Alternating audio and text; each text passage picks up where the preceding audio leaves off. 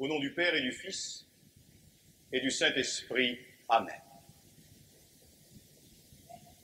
C'est pour nous, évidemment, un bonheur particulier que de célébrer la solennité de Saint Michel Archange, à qui nous sommes plus particulièrement dévoués.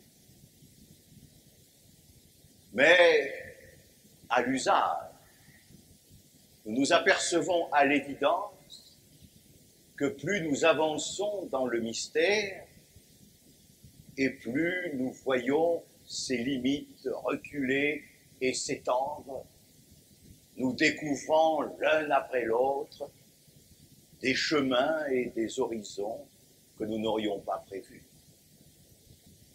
Qui de nous n'entendrait pas alors ce que Saint Pierre a entendu après la résurrection de Jésus?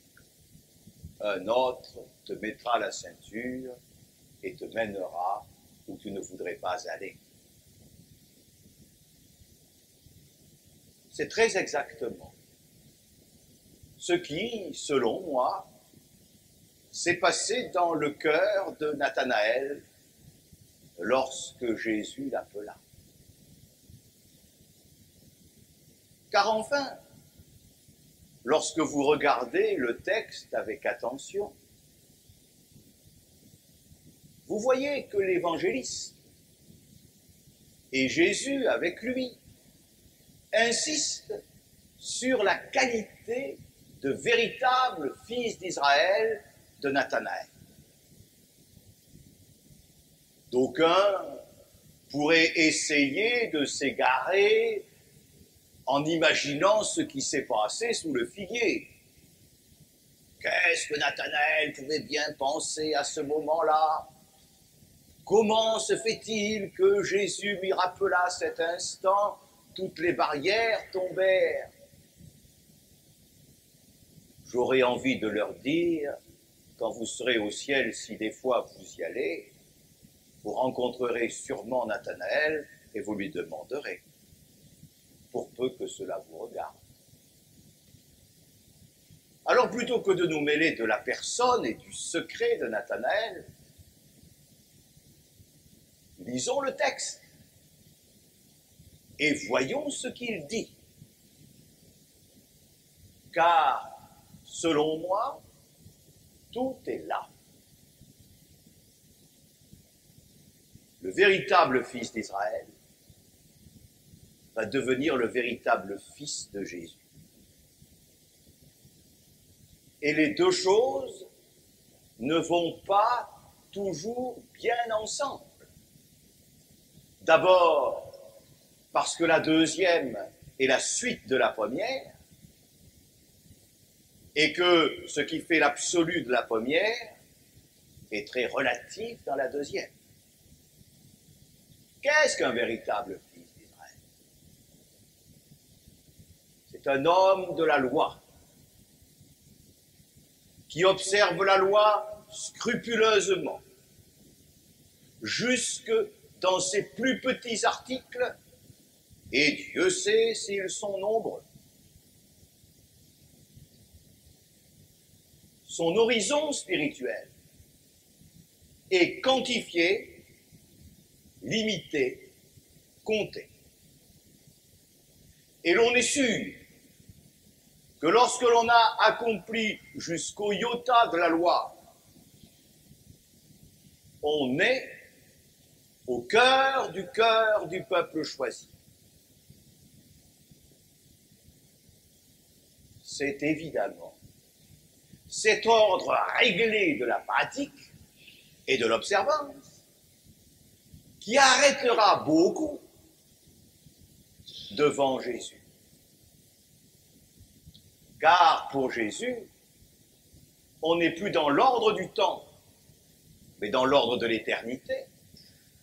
On n'est plus dans l'ordre de la terre, mais dans l'ordre du ciel. On n'est plus dans l'ordre de l'homme, mais dans l'ordre de Dieu. Il n'y a donc plus aucune limite. On ne pardonne pas jusqu'à cette fois, ce qui était déjà beaucoup mais jusqu'à 70 fois cette fois. On n'est plus dans l'ordre du respect des commandements, on est dans l'ordre des béatitudes. La transformation de Barthélemy, c'est là qu'elle se fait. Il apprend qu'en sachant ce qu'il sait, en définitive, il ne sait rien. Il apprend qu'en ayant prévu son avenir spirituel, rigoureux, en fait, il n'a rien prévu du tout. Et c'est alors qu'il se transforme.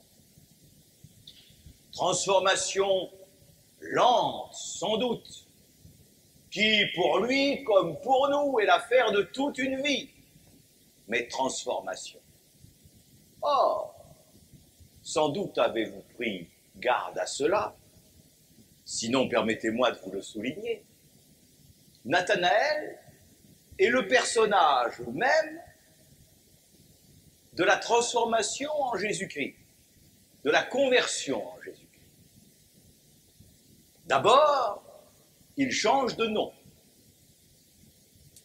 On ne l'appellera plus Nathanaël, mais on l'appellera Barthélemy. Vous ne voyez nulle part Jésus lui imposer son nom. Tout ça, c'est le secret de lui et c'est le secret de son être. Évidemment, de juif observant, il devient l'apôtre fidèle de Jésus. Et vous savez quel fut son supplice. On l'a arraché la peau, comme si on faisait disparaître le vieil homme pour faire venir l'homme nouveau. C'est pour ça qu'on le représente souvent avec une peau d'homme à la main. C'est l'instrument de son c'est le, résultat de son supplice. L'instrument en étant le couteau. Qu'est-ce qu'il a vu, Nathanaël? Il a vu les anges de Dieu monter et descendre au-dessus du Fils de l'homme. Cette phrase de Jésus nous étonne beaucoup. Car à bien réfléchir, le Fils de l'homme, c'est lui. Donc c'est Dieu. Les anges seraient-ils par hasard au-dessus de Dieu? Et pourrait-il y avoir des anges qui montent au-dessus du Fils de l'homme? Certainement non. Et vous avez raison. Mais certainement oui. Qu'est-ce que c'est que le Fils de l'homme? C'est le Verbe incarné, c'est Jésus-Christ. Mais qu'est-ce que Jésus-Christ? Sinon le Verbe incarné et le corps mystique qui en est. Nous sommes le corps du Christ. Mieux, nous sommes le Christ. Nous sommes les membres du corps, dit Saint Paul, dont le Christ est la tête. Nous sommes les sarments d'une vigne dont le Christ est le cep. Nous sommes les pierres du temple dont le Christ est la pierre d'angle. Et sans cesse, les anges montent et descendent pour nous agréger toujours mieux au Christ notre tête. Ils montent et descendent au-dessus et au-dessous du corps mystique pour que le corps mystique soit toujours plus uni à Jésus. Tel est le ministère des anges de nous unir au Christ. Par eux, nos prières montent vers le ciel et y arrivent en état de perfection. Par eux, les grâces de Dieu descendent sur nous. Et nous ne faisons rien en ce monde sans que les anges viennent nous inspirer et nous aider pour peu que nous pensions à eux comme ils pensent à nous. Nous aider dans ce grand combat du bien et du mal qui se passe à l'intérieur de nous autant qu'il se passe à l'extérieur. Saint Michel, chef des milices célestes, est là pour crier en nos cœurs, comme il le cria au Satan, qui est comme Dieu? Qui est comme Dieu pour que ton idée prévale sur la parole de Dieu? Qui est comme Dieu pour que ta volonté prévale sur la volonté de Dieu? Qui est comme Dieu pour que ton cœur prévale sur le cœur de Dieu? Tel est le cri que nous devons entendre. En mettant quasi en litanie ces innombrables composants. Quand, comment, pourquoi me suis-je un peu séparé de Dieu? Saint Michel, faites-le-moi savoir et faites-moi comprendre les remèdes qui me donneront une meilleure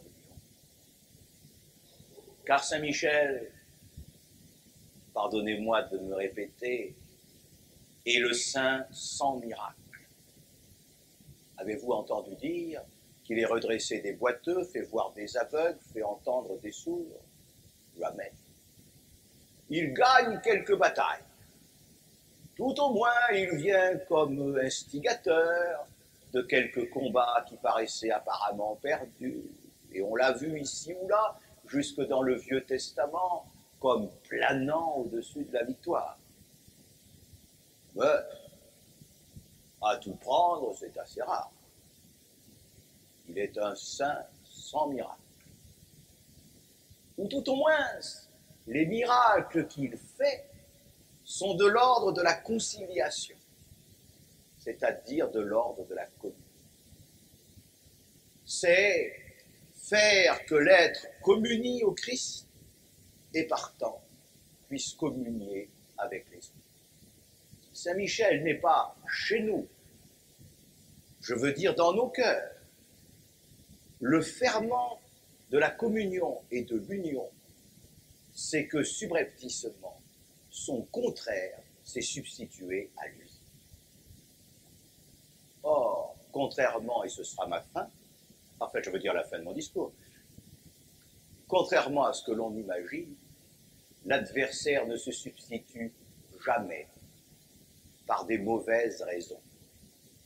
S'il vous induit à la tentation du péché, vous êtes tous assez intelligents pour le comprendre tout de suite. Alors il spécule sur les bonnes raisons et sur les grands sentiments et il nous fait juge, diviseur et condamnateur. Implacable, d'autant plus implacable que la loi est pour vous. C'est très exactement ce que Nathanaël a cessé d'être pour devenir Barthélemy. Puisse, par le ministère de l'archange et le soutien de la Sainte Vierge Marie, de tous les anges et de tous les saints, nos cœurs et nos esprits s'ouvrir à ces réalités de sorte que nous puissions réellement devenir dans le corps du Christ des agents de communion et de paix au nom du Père et du Fils et du Saint-Esprit. Amen.